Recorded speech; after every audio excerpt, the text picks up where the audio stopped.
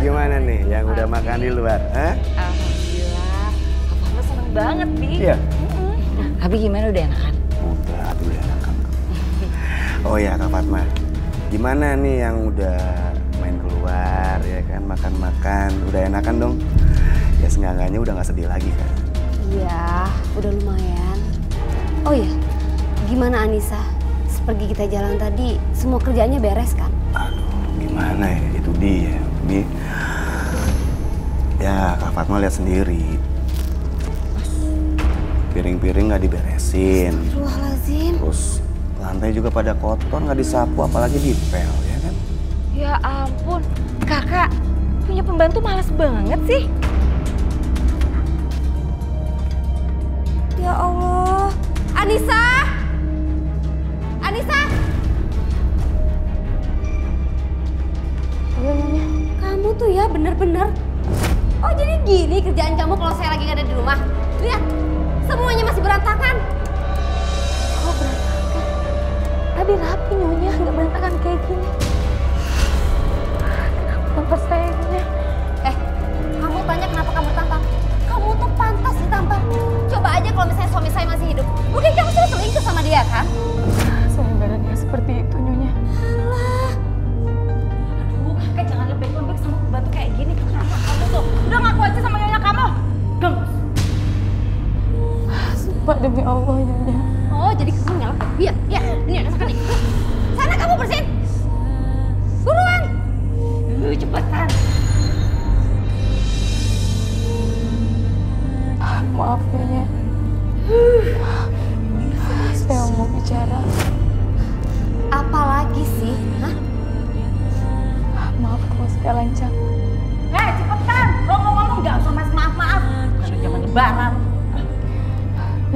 gaji saya dimajuin nyonya buat biaya berobat ibu saya? Aduh Anissa, kamu tuh ya udah buat saya sakit hati terus sekarang kamu minta gaji kamu di- dimajuin. Jangan dikasih kak. Memangnya kenapa ya ya? Jadi begini, sebelum Kak Rahim meninggal, Kak Rahim sempat bilang sama saya, kalau ternyata gaji Anissa itu sudah diberikan untuk dua tahun ke depan. Tapi ternyata gajinya itu dibawa kabur oleh agennya. Yang bener kamu. Kok saya nggak tahu apa-apa dan Mas Rahim nggak pernah cerita apa-apa ke saya? Aduh kakak sayang, Laila kan udah bolak-balik sama kakak bilang kalau jangan tertipu sama muka polos pembantu ini. Kakak nggak nyadar ya? Jangan-jangan selama ini Mas Rahim udah berhubungan diem-diem sama pembantu. Oh, jadi kamu bener-bener kamu ya. Kamu sini kamu, sini kamu. Eh, Demi Allah ya, saya gak ada hubungan apa-apa ya. eh, sekarang kamu kerja di sini dan aku nggak akan pernah bayar gaji kamu. Sana kamu. Eh cepetan.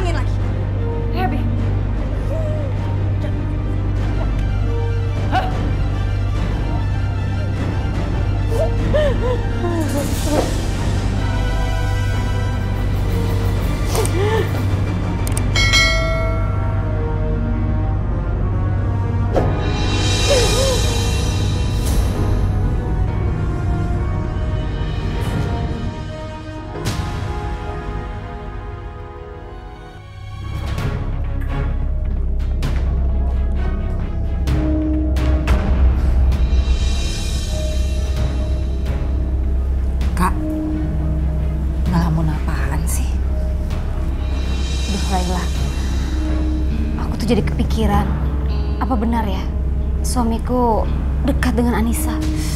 Aduh, kakak nih. Kakak nggak percaya sama Laila, adik kakak sendiri. Kakak nggak tahu aja barusan ada kejadian apa di dapur. Berani-beraninya tuh pembantu itu goda-goda suami Laila, Kak.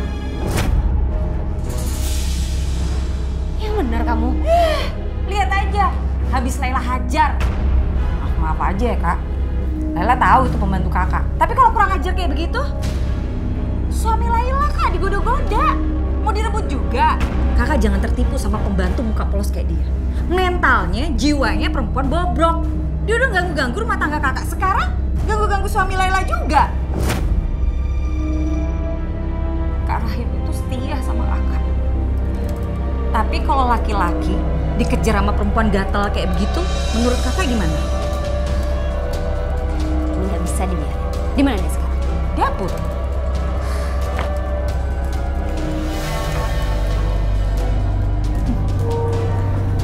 Habis ku hajar, dihajar lagi sama Kak Fatma.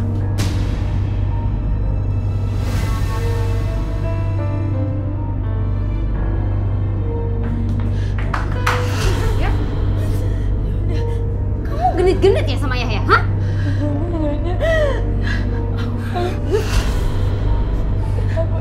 Kak,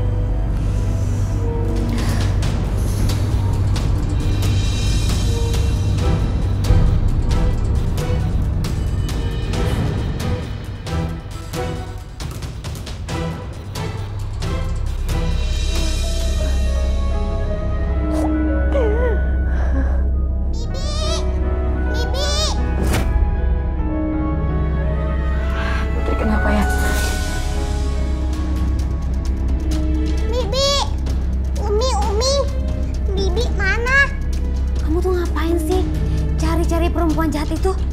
Bibi Alisa bukan orang jahat. Umi lapar, tapi aku mau suapin sama Bibi. Putri, kok kamu sekarang jadi manja gini sih? Umi nggak suka loh kalau Putri manja-manja seperti ini, apalagi sama Bibi. Yaudah, kamu tunggu di sini ya. Biar Umi ambilin kamu makan dan kamu makan sama Umi. Jangan sama Bibi lagi.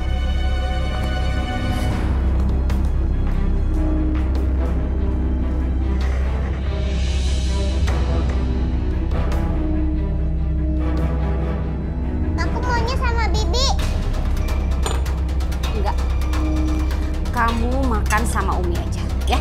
Nih. Sekarang kamu buka mulut, kamu makan. Ya sayang? Nih.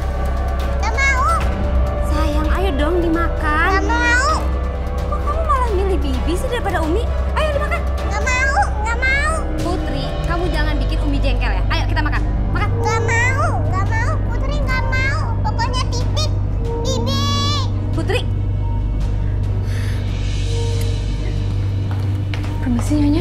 Ada apa Nyonya?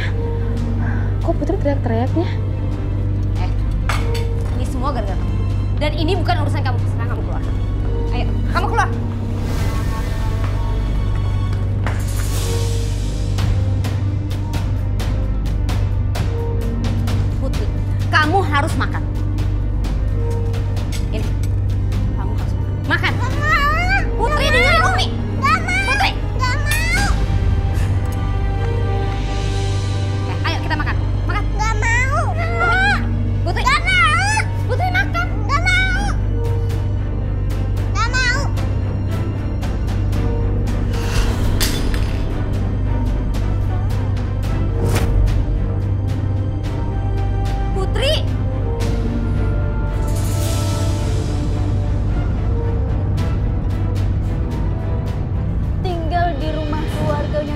Fatma seperti di neraka.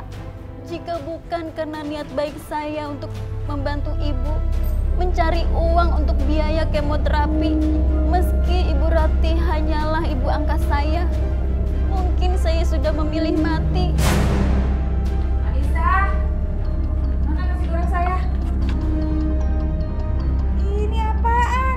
Kok ada sosisnya sih? Maaf Nyonya, soalnya saya kalau bikin nasi goreng Tanya kan bisa. Maaf, maaf. Bosan tahu nggak? Maaf, maaf. Emangnya saya ibu sama bapak kamu. Ah, udah.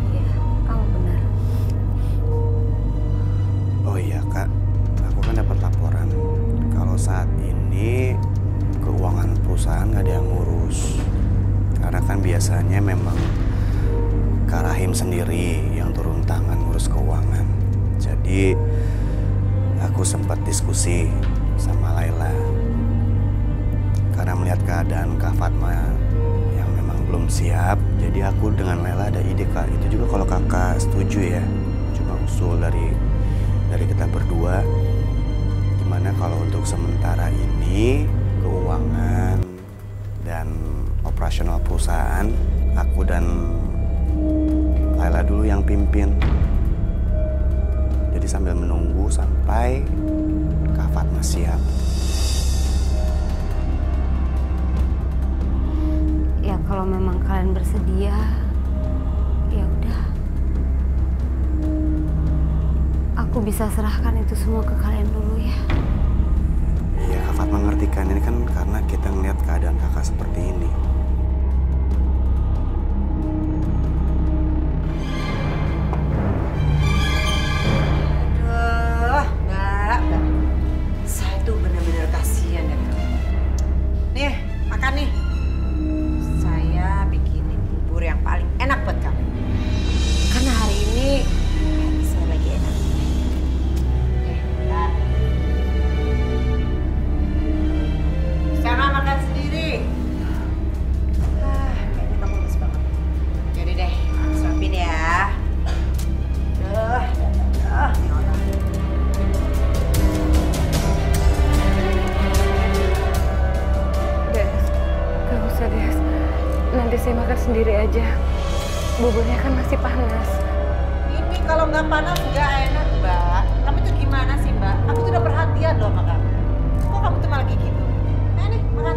Makan. Des, tapi ini masih panas, Des. Selalu aja gini. Sini. Nanti saya makan sendiri. Masih panas,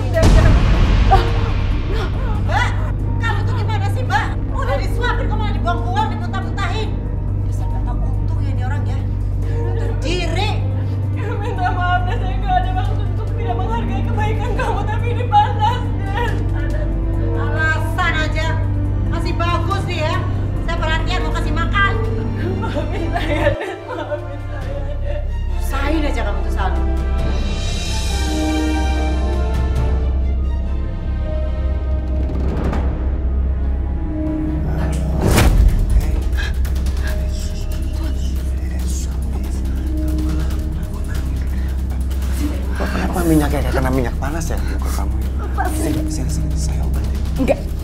Sini, lepasin. Sini, sini.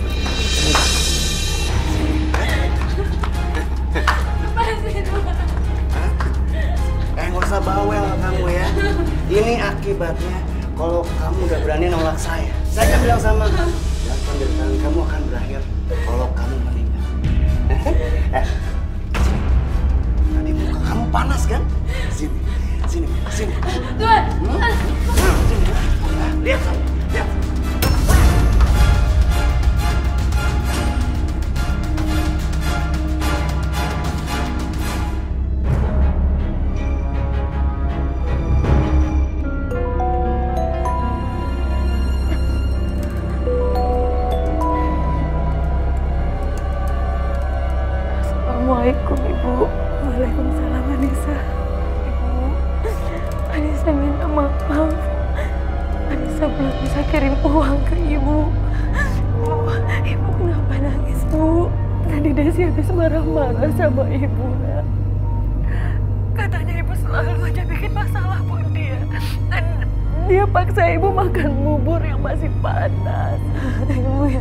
Sabar ya, Bu.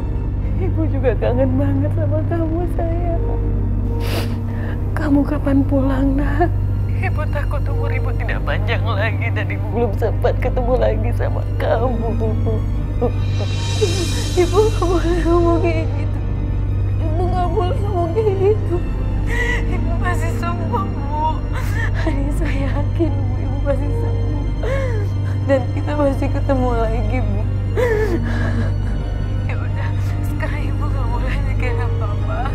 Ibu harus sabar. Dan ibu sekarang harus istirahat ya, ya. Assalamualaikum. Waalaikumsalam.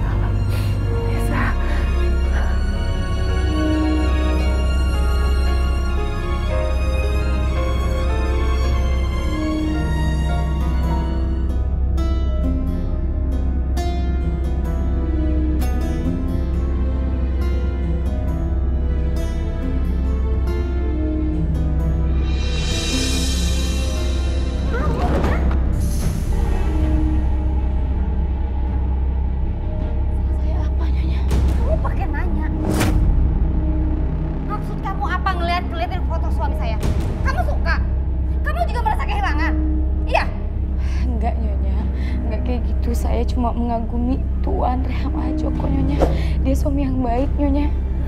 Bosan kamu ya?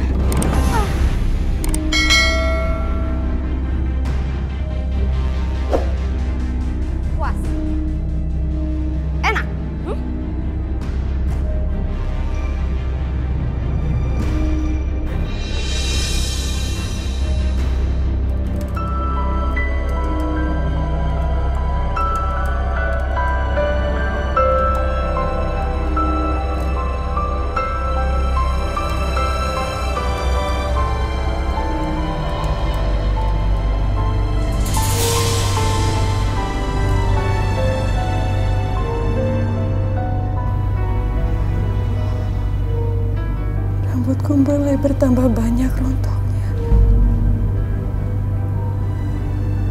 Aku cari kerjaan yang lain ya supaya aku bisa dapat uang buat beli obat.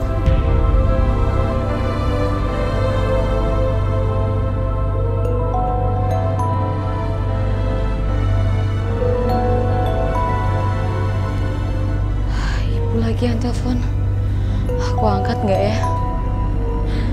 Tapi takut penting. Aku Assalamualaikum Ibu. Waalaikumsalam Anissa. Anissa, maaf sayang Ibu mau tanya. Apa kamu sudah punya uang, nak? Anissa belum punya uang, Bu. Ini Ibu rasanya sakit sekali, nah Ibu rasanya udah nggak kuat. Rasanya udah pengen mati. Bu, Bu, Ibu nggak boleh ngomong kayak gitu, Ibu. Balikin handphone Siapa yang suruh kamu kerja sambil teleponan, ha? Siapa? ha? Balikin handphonenya tadi ibu saya yang telepon Tuan. Halo? Kenapa Anissa mematikan teleponnya? Saya akan balikin handphone kamu kalau kamu mau lakuin apa yang saya mau. Saya akan pernah Tuan. Sampai mati pun saya akan pernah ngikut kemauan Tuan. Yang suci kamu sini.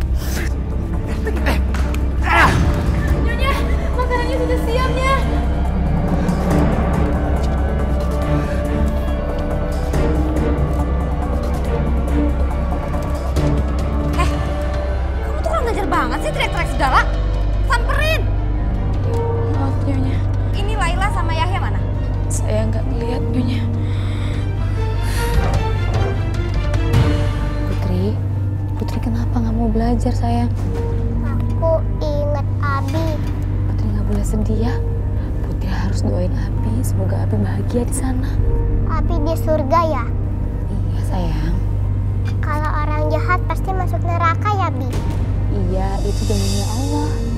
Tante sama Om Yahya terus sama Umi masuk neraka ya? Eh, Anissa.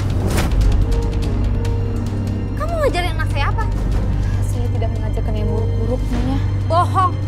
Pikir saya nggak dengar barusan? Dia bilang om, tante, dan uminya jahat dan akan masuk neraka. Kurang ajar kamu ya. Jangan pukul Bibi, kasihan. Sayang, perempuan ini yang jahat, bukan om, tante, dan umi kamu. Dan dia juga yang sudah buat abi kamu meninggal. Nyonya, Nyonya tega nuduh saya kayak gitu, Nyonya. Kamu bilang saya nuduh kamu. Kamu ingat gak? Kejadian sebelum suami saya meninggal. Kamu mencoba buat menyentuh dia kan? Itu semua gara-gara kamu. Sayang, kamu jangan pernah mau deket-deket sama perempuan jahat ini. Putri nggak percaya. Putri, kamu tuh harus percaya sama Umi.